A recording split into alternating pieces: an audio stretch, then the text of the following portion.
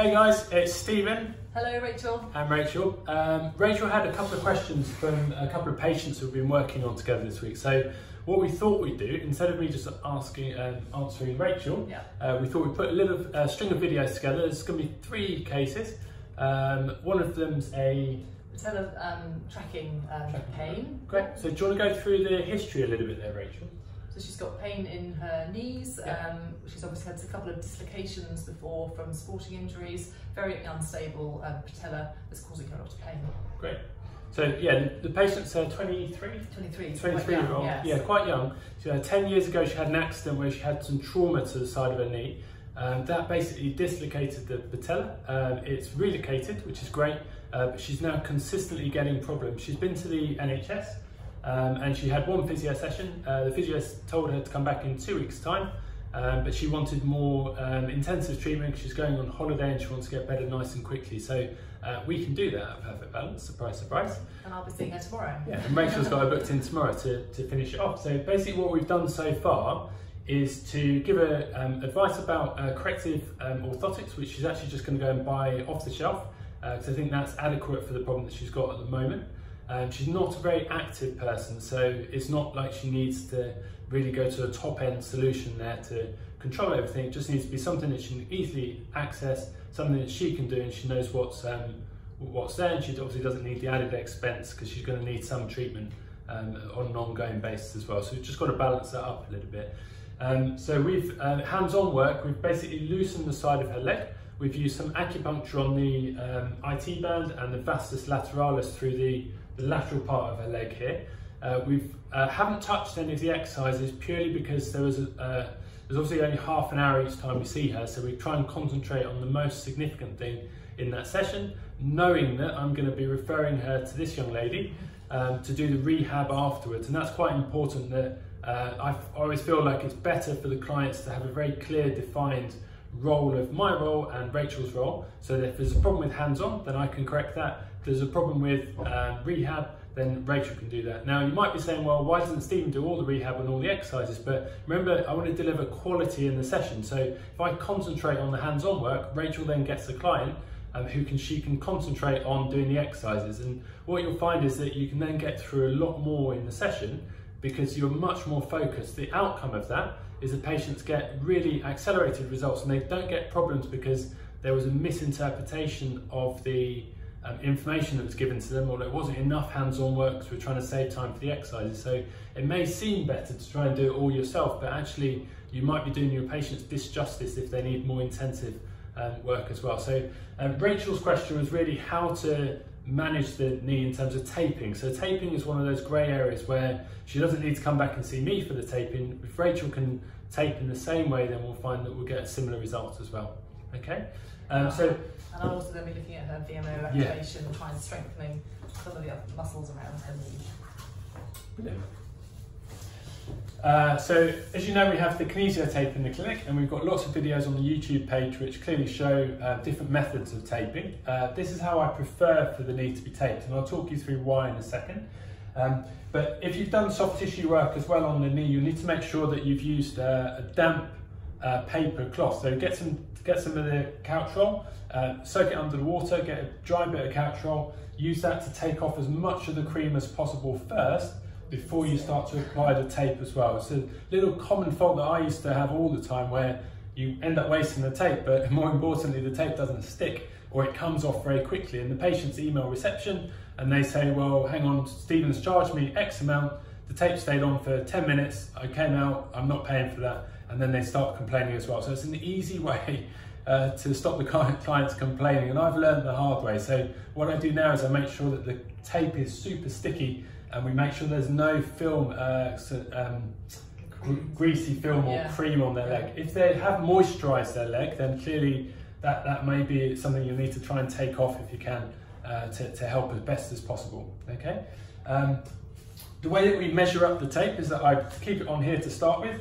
Um, the, the, way that I prefer to tape the knee is to try and mimic some of the muscular action around there. So the problem with the lateral dislocation of the patella is that the lateral retinaculum um, is still intact um, and the, the, the, the vastus lateralis through here and the iliotibial band, as they contract at the hip and the TFL contracts at the hip, it's going to pull the, the knee uh, laterally. Now, you could look at that three different ways. So you could look at that as the knee being pulled laterally by the muscle contraction, so that's one way. Um, biomechanically, when the foot's planted in closed chain, the femur rotating inwards, so a lack of gluteal strength at the top here. So Rachel would go through glute exercises for external rotation primarily and abduction uh, primarily as well. So using the glute medius and minimus, which mainly abduct the leg, although they internally rotate as well, so you need to be careful with that. Um, and the glute maximus as well. So many people don't rehab the glute maximus for some reason, um, but if you think about when you're pushing off the ground and extending the hip, it's mainly the glute maximus that's using that. So you want to try and get off the ground, which will stop you from rolling into the ground. So that's the way I think about it um, whenever I'm uh, rehabbing a client or looking at how to, to, to maximize the, the, um, the time that I spend with them in terms of prescribing exercises.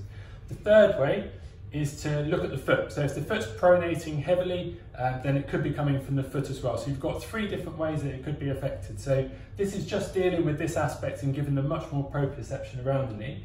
Um, so we've got the patella area here. Um, and you can you can also imagine the patella. So you've got the, the lateral part here, lateral inferior part. Um, so I normally describe that to the patient as being about uh, seven o'clock at the bottom of the patella when they're looking down at it. It's six o'clock at the bottom and then seven o'clock just round here on the outside of the knee. Um, so we want to try and apply the tape to the outside of the knee here. And I normally make sure that half of the tape is covering the patella and half of the tape is not on the patella. And I'll show you why in a second. As I pull the knee, uh, pull the tape around, I'm just going to make sure that I've got loosely um, a, a, a, sling effect there that's going to help to hold the patella um, medially. So you'll see why in a second. Um, so that's basically going to mimic what the action of the VM vastus medialis does. The oblique fibres, which are more uh, horizontal across the knee, um, we can add more tape on there and you'll find different taping strategies to um, to, to tape up the medial side of the knee as well. So some people would just tape the knee straight across there and they'd put tension on here and pull it across here. Now, the reason why I don't do that, um, and I normally find that the patients respond better to the teardrop shape application of the taping, but have a, have a go and see what response you get from the clients as well. So we need roughly about that much tape with Rachel. So I'd cut it like that. I feel like I'm on Blue Peter. earlier. Um, so I always tend to round the edge of the tape, and that's quite important because a, a, a sharp edge there is always going to catch on clothing. Um, so if you just round the edges of the tape first, just like that. It's quite useful just to have that rounded edge, so when you're sticking it down, it, it really does help um, uh, keep it on there for longer. That's, that's very important, because if it's not on there, obviously it's not doing its, its job there. So um, I fold the tape in half just to work out where the middle is, so I know that roughly it's got equal tension above and below. And then what I tend to do is just tear the tape along the crease there. I'll fold the tape back like this,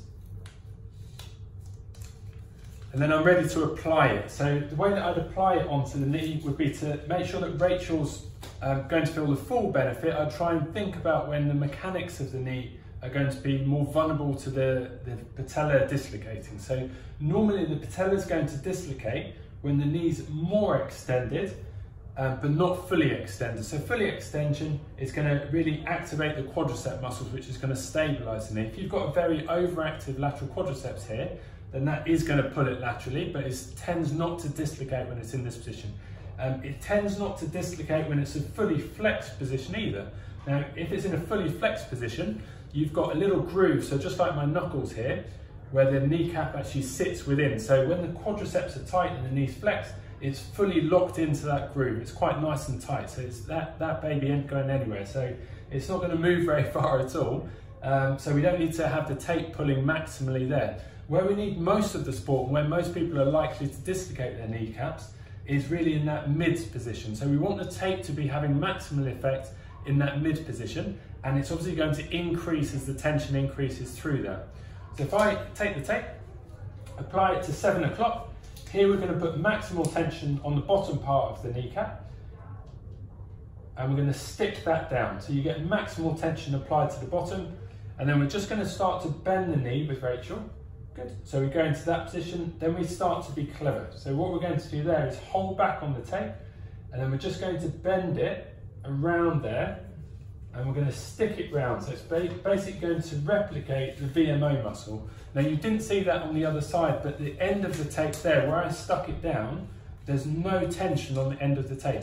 If I have a piece of tape that's like this piece of paper and it's stuck down tight the whole way, as soon as Rachel starts to bend her knee and there's more tension there, it's just going to pull off the skin. So if you don't have tension there, it's going to pull against the edge of the bit you've not got tension, and it's going to start to stretch the bits in here, which is good because it's going to give you more free, uh, more degrees of freedom to be able to have a bit more movement in there.